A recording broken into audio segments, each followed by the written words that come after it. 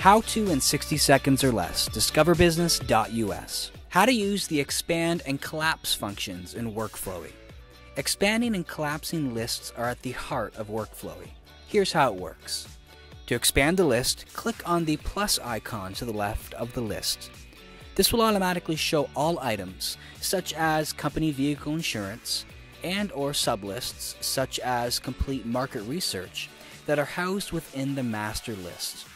Notice that company vehicle insurance does not have a plus icon beside it, and that's because it doesn't contain any sub items, as opposed to, for example, review assigned tasks, which does.